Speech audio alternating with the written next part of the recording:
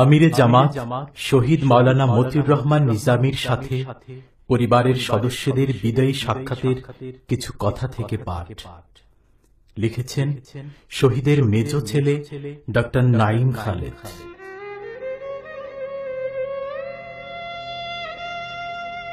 মাগরিবের কিছু আগে কারা কর্তৃপক্ষ ফোন করে মিঠু ভাইকে অর্থাৎ আমার শহীদ পিতার ব্যক্তিগত সহকারী তাকে জানালেন সন্ধ্যা সাতটার মধ্যে পরিবারের সদস্যরা যেন সাক্ষাতের জন্য জেল গেটে চলে আসে। এটা শেষ সাক্ষাৎ কিনা কারা কর্তৃপক্ষ তা স্পষ্ট করে বলতে অস্বীকার করে। অনেকটা অনিশ্চয়তার মধ্যেই আমরা বাসা থেকে তিনটি গাড়িতে করে কেন্দ্রীয় কারাগারের উদ্দেশ্যে রওনা দিই। সাংবাদিকদের ভিড় ও নিরাপত্তা বেষ্টনী পার হয়ে আমরা ২৬ জন কেন্দ্রীয় কারাগারের ভিতরে প্রবেশ করি।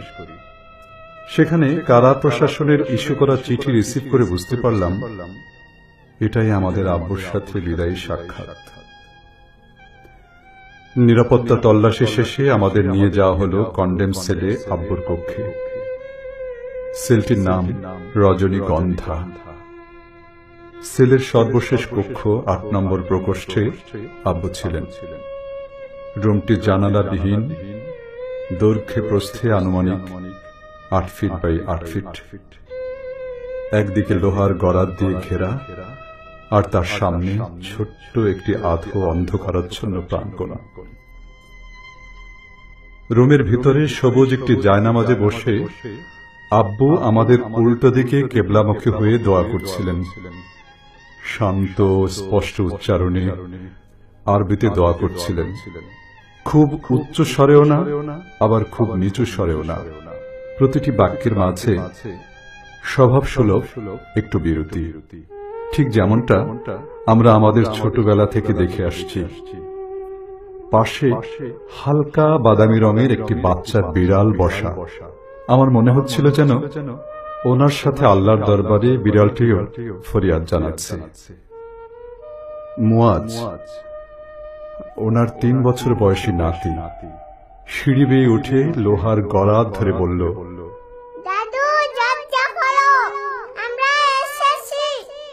আব্বু শান্তভাবে মোনাজাত শেষ করে উঠে দাঁড়ালেন। আমাদের দেখে লোহার গড়াদের কাছে এসে বললেন তোমরা আসছো? এটাই তাহলে শেষ দেখা। আমার বোন একটু আবেগপ্রবণ হয়ে বললেন, আল্লাহ চাইলে এটা শেষ দেখা নাও হতে পারে, আব্বু। এরপরে একটু আবেগ ঘন পরিবেশের সৃষ্টি হলে উনি সবাইকে শান্ত থাকতে বললেন, সবর করতে বললেন। আব্বু শিকের ওপর থেকে সবার সাথে হাত মিলালেন। ওনার পরনে ছিল সাদা সুতি পাঞ্জাবি আর লুঙ্গি।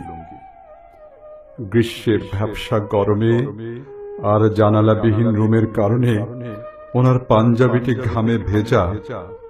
কিন্তু মুখটা প্রশান্ত কষ্ট বা উদ্বেগের লেশ মাত্র নেই সেখানে। দেখে কে বলবে একটু পরে ওনার ফাঁসি দেবে এই জালিম সরকার। শিখের ভিতর থেকে সবাই ওনাকে দেখতে পাচ্ছিলাম না। উনিও সবাইকে দেখতে পাচ্ছিলেন না। উপস্থিত কারা কর্তৃপক্ষকে অনুরোধ করায় ওনারা দয়া করে গেটটা খুলতে রাজি হলেন। আব্বু আঙিনা এসে আমাদের মাঝখানে একটি সাদা প্লাস্টিকের চেয়ারে বসলেন। প্রথমে তিনি তার স্বভাব সুলভ ভঙ্গিতে সবার খোঁজ খবর নিলেন। এরপর তিনি তার অবস্থান পরিষ্কার করে বললেন। আমাকে জেল সুপার রিভিউ খারিজ সংক্রান্ত রায় পড়ে শোনানোর পর জানতে চান আমি রাষ্ট্রপতির কাছে ক্ষমা ও প্রাণ ভিক্ষা চাইব কিনা। আমি তাদেরকে বলেছি আমি কোনো অন্যায় করিনি। ক্ষমা চাওয়ার অর্থই হল দোষ স্বীকার করে নেয়া। সুতরাং ক্ষমা চাওয়ার প্রশ্নই আসে না। আর জীবন মৃত্যুর মালিক একমাত্র আল্লাহ তাআলা। তাই মানুষের কাছে প্রাণ ভিক্ষা চেয়ে ইমান হারাতে চায় না। আজ বিকেলে দশ মে দু হাজার ষোলো ডিআইজি প্রিজন এসে আমি যে রাষ্ট্রপতির কাছে প্রাণ ভিক্ষা চাই না তা লিখিতভাবে দিতে বললেন। আমি স্পষ্ট ভাষায় লিখে দেই যে আমি ক্ষমাও চাইব না প্রাণ ভিক্ষাও চাইব না। এ সময় সেখানে এক আবেগ ঘন পরিবেশের সৃষ্টি হয়। আব্বু সবাইকে সাবর করার ও শক্ত থাকার নসিহত করছিলেন। ওনার চোখে আমি কোনো পানি দেখিনি।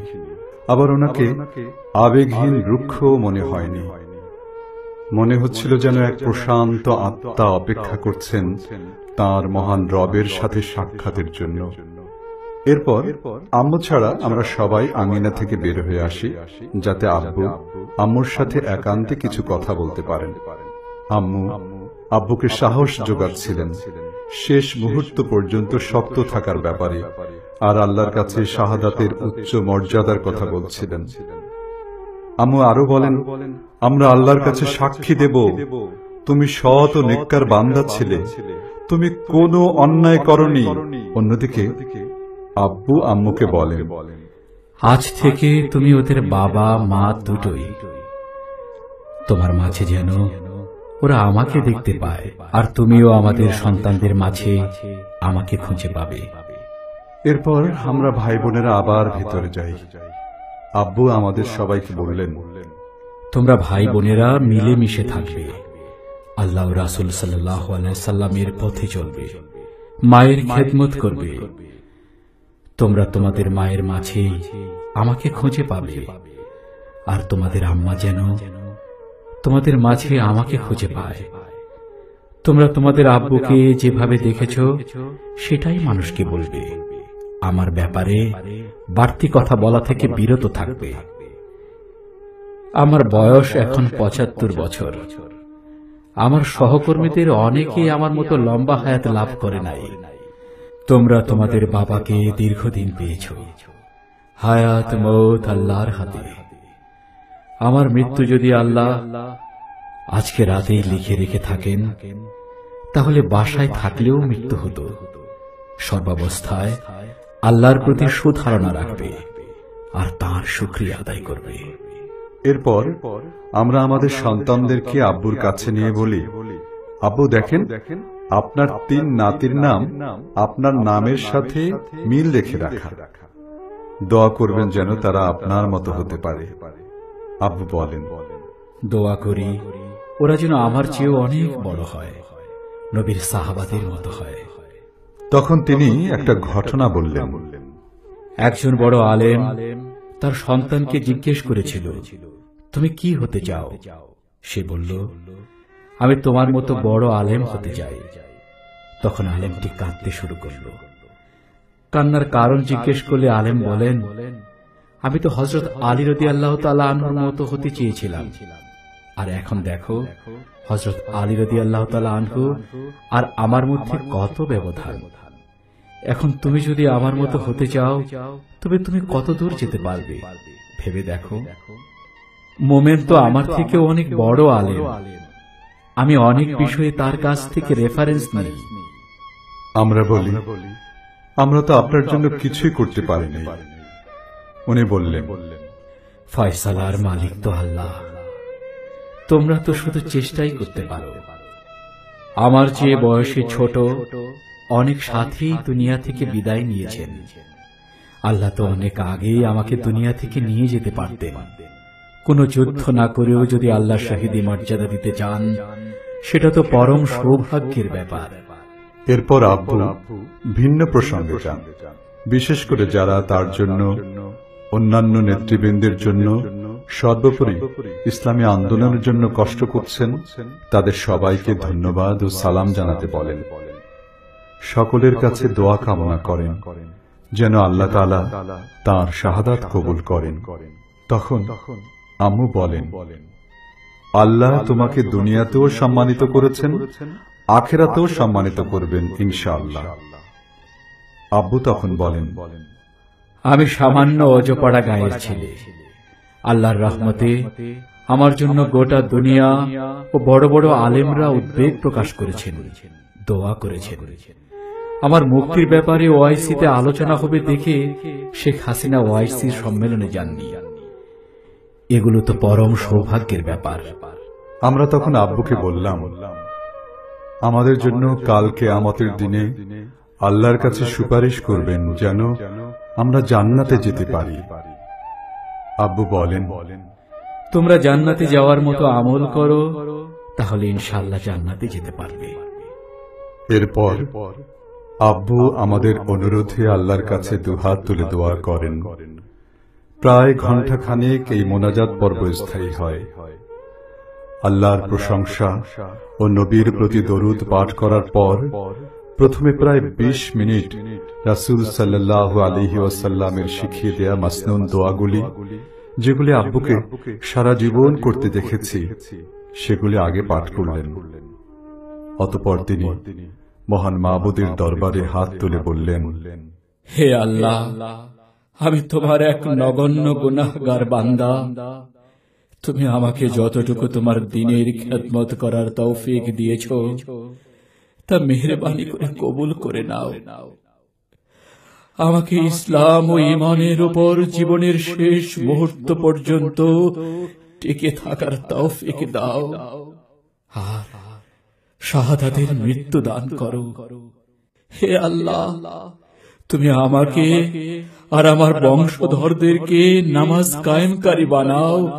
আর আমাকে আমার পিতা মাতাকে আর সকল মুমিনদেরকে কাল কিয়ামতের দিনে ক্ষমা করো।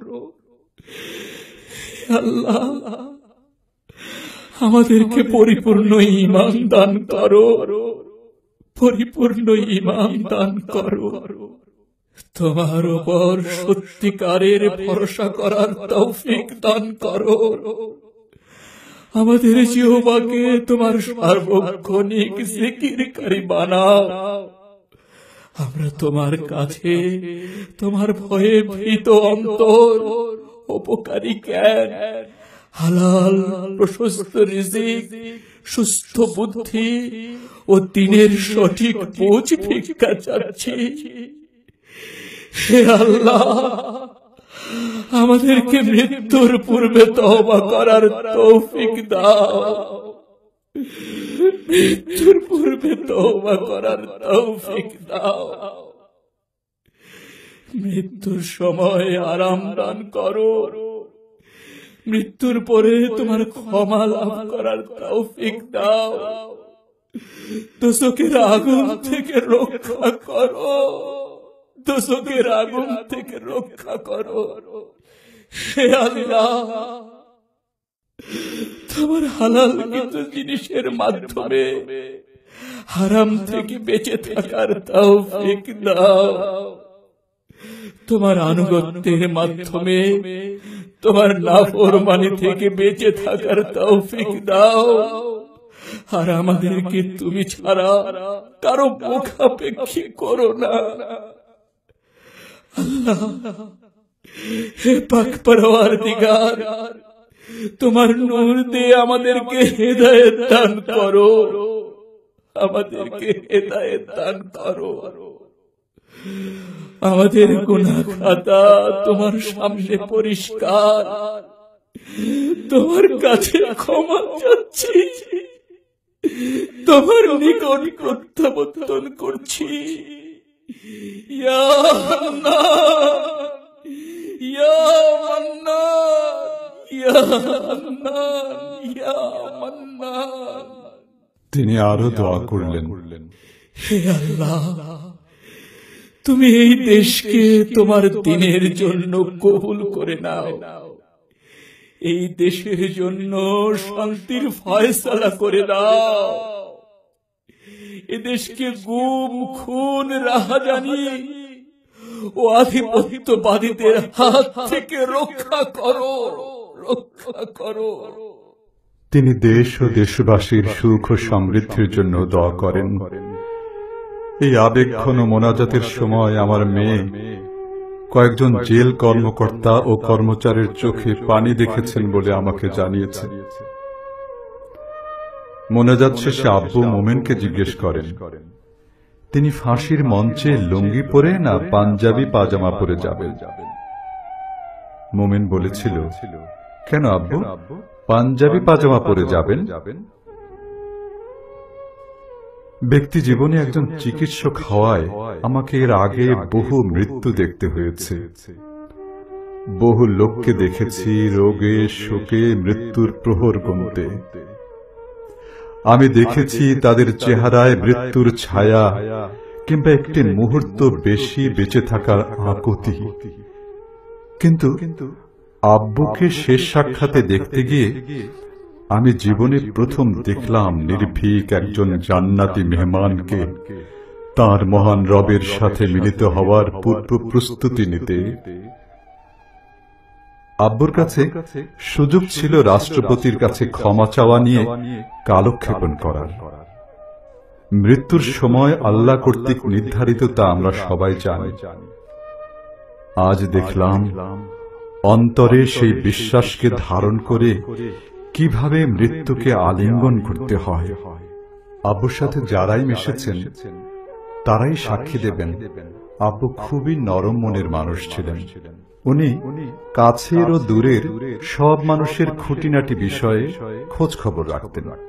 কারও কিছু হলে পেরেশান হয়ে বারবার খবর নিতেন যেটা সবার প্রতি তার মমতা ও আবেগের বহিঃপ্রকাশ ছিল।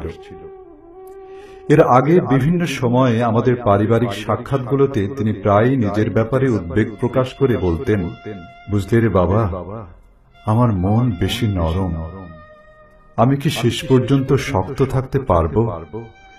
এরকম একজন মানুষের নিশ্চিত মৃত্যুর মুখে সমস্ত জাগতিক মায়া মমতা ও আবেগের ঊর্ধ্বে উঠে শান্ত ধীর স্থির ভাবে কথা বলা সত্যিই বিস্ময়কর। সাক্ষাতের শেষ পর্যায়ে আব্বু জিজ্ঞেস করলেন সাথিয়ায় দাফন করতে কে কে যাবে? আমি বললাম আমি আর মোমেন যাব। তিনি তার স্বভাব সুলভ ভঙ্গিতে সাবধানে যেতে বললেন আর মিঠু ভাইকে সাথে রাখতে বললেন। আম্মাকে রাতে সাথিয়া যেতে মানা করলেন। মোমেনকে জানাজার নামাজের ইমামতি করতে বললেন। মোমেন প্যান্ট শার্ট পরেছিল। তিনি বললেন, আব্বু, পাঞ্জাবি পরে জানাজা পড়ো। আব্বুর শেষ নসিহাত। তিনি সবাইকে কোরআন, হাদিস মেনে চলার ও আল্লাহ এবং তার রসুল সাল্লাহ আলহি ওয়াসাল্লামের পথে চলার উপদেশ দেন। যে কোনো পরিস্থিতিতে সবর করার ও আল্লাহর উপর রাজি খুশি থাকতে বলেন। আমার ওসিয়াতগুলো তোমরা আমার লেখা বইগুলোতে পাবে। বিশেষ করে জেলে বসে লেখা দুটি বই কোরআন হাদিসের আলোকে রাসুল মোহাম্মদ সাল্লাহ আলিয়াল্লাম ও আদাবে জিন্দিগি এবং আগে লেখা বই কোরআনের আলোকে মুমিনের জীবন। প্রভৃতি বইগুলো পড়তে বলেন। সবশেষে আমার সবচেয়ে বড় বোন মহসিনা আপাকে বললেন, আম্মু, আমি তোমাকে নিয়ে বেশি চিন্তিত। তুমি আমার মা, আমার সবচেয়ে বড় সন্তান। তোমার মুখেই প্রথম আমি আব্বু ডাক শুনেছি। তুমি শান্ত থেকো। আম্মুকে বললেন আবার সোনার টোকরা ছয় ছেলে মেয়েকে রেখে গেলাম। তুমি এদের মাঝেই আমাকে খুঁজে পাবে। তোমরা যাও আমি তোমাদের যাওয়া দেখি। আমরা একে একে হাত মিলিয়ে আমাদের জান্নাতি আব্বুর কাছ থেকে বিদায় নিলাম। জেল থেকে বের হয়ে রওনা হলাম সাথিয়ার উদ্দেশ্যে। জীবিত আব্বুকে রেখে চললাম তার দাফনের প্রস্তুতি নিতে। রাসুল সাল্লাহ আলহি সেই হাদিসটি তখন বারবার মনে পড়ছিল। যখন তোমরা কোনো বিপদ, মুসিবতে পড়বে, তখন স্মরণ করো সবচেয়ে বড় মুসিবতের কথা। সেটা হবে আমাকে হারানোর মুসিবত। এই উম্মত রাসুল সাল্লাহ আলহি ওয়াসাল্লামকে হারানোর কষ্ট সহ্য করেছে এই উম্মত সবই সহ্য করতে পারবে ربنا افرغ علينا صبرا وثبت اقدامنا وانصرنا على القوم الكافرين ربنا افرغ علينا صبرا وثبت اقدامنا وانصرنا على القوم الكافرين.